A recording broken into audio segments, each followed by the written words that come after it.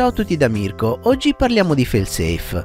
Vedremo cosa significa, come settarlo e gli errori più comuni che si fanno quando si parla di questo argomento. Inoltre vedremo anche i test da fare per verificare che il failsafe stia effettivamente funzionando bene. Partiamo con una piccola introduzione sul failsafe. Il failsafe è una procedura di sicurezza che interviene quando si interrompe la comunicazione tra radio e ricevente. Una volta che il sistema individua l'assenza di segnale, deciderà come comportarsi. La prima domanda da porsi quindi è quale componente decide cosa fare quando manca il segnale radio? Per quanto riguarda i droni FPV questa decisione viene presa dal flight controller che in base alle istruzioni che gli diamo deciderà quale azione compiere.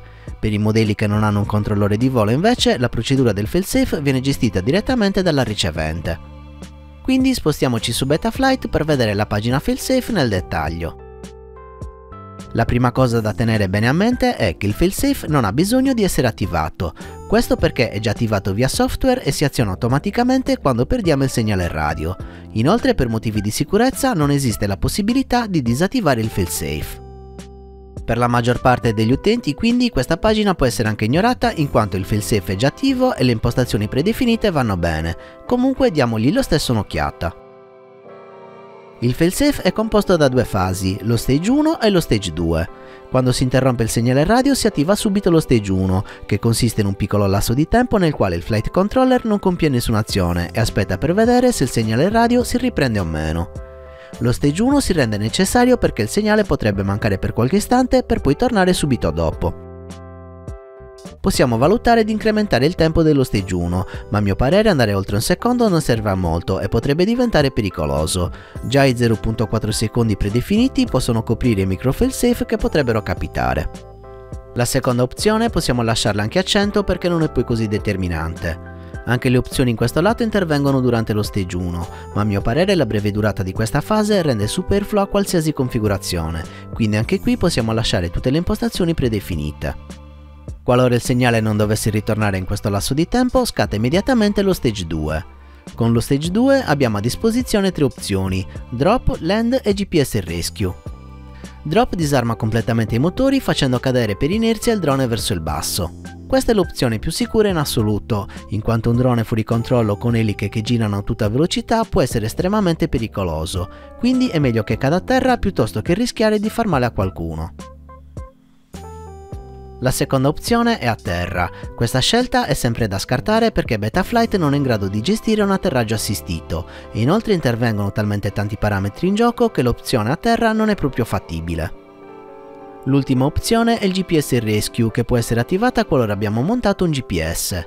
In caso di failsafe il GPS Rescue riporta il drone verso di noi, in modo che col drone vicino siamo in grado di riprenderne il controllo. Quindi, ricapitolando, la pagina failsafe va bene con le impostazioni predefinite e non c'è bisogno di intervenire, ma se avete montato un GPS potete selezionare GPS Rescue al posto del drop.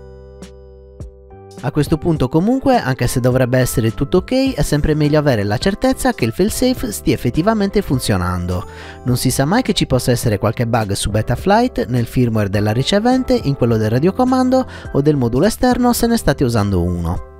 Inoltre questi passaggi vanno sempre fatti la prima volta che assembliamo un drone o anche per sicurezza se abbiamo aggiornato qualche firmware di recente. Il metodo più pratico per testare il failsafe è impostarlo via switch, questo comando infatti simula l'interruzione di segnale proprio come se stessimo spegnendo la radio. A differenza di spegnere fisicamente la radio però, in questo modo abbiamo i tempi di reazione più veloci, cosa da non sottovalutare in caso di problemi. Nel tab mode per questo test imposterò solo l'interruttore dell'ARM sull'AUX 1 e quello del failsafe sull'AUX 2. Prima di procedere al test vorrei fare una precisazione sulla voce failsafe che troviamo qui nel tab mod. Questo comando è stato implementato solo per motivi di test e non perché ci sia un reale bisogno di usarlo quando andiamo a volare. Questo perché, come abbiamo già visto, il failsafe è sempre attivo e non c'è bisogno di compiere nessuna azione per attivarlo. Come abbiamo visto, questo comando va a simulare il failsafe ma non aggiunge niente che già non sia presente su Betaflight. Una volta finito il test possiamo rimuoverlo perché non serve. Ok, è tutto pronto, non ci rimane che provare se il failsafe funziona o no. Mi raccomando questa prova deve essere fatta assolutamente senza eliche. Esiste sempre un'eventualità che qualcosa possa andare storto e che i motori inizino a girare alla massima velocità. Se stiamo facendo delle prove è perché comunque non siamo sicuri che tutto sia a posto, quindi è meglio non rischiare. Armo il drone. Ora lo mando in failsafe. Perfetto, i motori si sono bloccati, questo significa che il failsafe sta funzionando correttamente. Nell'eventualità che i motori non si dovessero fermare, allora c'è un serio problema. Fate una ricerca delle componenti che state usando per capire come risolvere. Se il failsafe del vostro drone non sta funzionando, vi sconsiglio vivamente di andare a volare, perché in caso di assenza di segnale il drone potrebbe volare per i fatti suoi diventando molto pericoloso. Come abbiamo visto all'inizio, se stiamo usando un flight controller è quest'ultimo che si occupa della gestione del failsafe. Tuttavia rimangono sempre a disposizione delle impostazioni failsafe sulla radio, le più comuni sono Hold, Custom e No Pulse.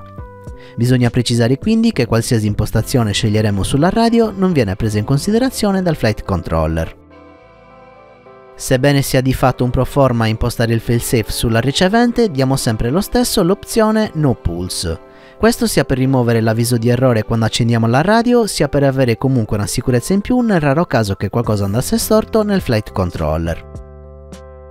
Se usate il sistema Crossfire potete settare il failsafe nella pagina ricevente sotto la voce Failsafe Mod. In questo caso scegliete CAT che è l'equivalente di No Pulse. Se invece avete un FS6 o FS6X ho fatto una guida specifica su come settare il failsafe in queste due radio, vi lascio il link del video in descrizione. Perfetto, per oggi è tutto, abbiamo visto che cos'è il failsafe e i passaggi da fare per verificare che stia funzionando correttamente. Se il video vi è piaciuto lasciate un like, iscrivetevi e attivate la campanella. Per supportare il canale vi ricordo di acquistare sempre attraverso il link in descrizione o diventando miei patrons cliccando il link a fine video.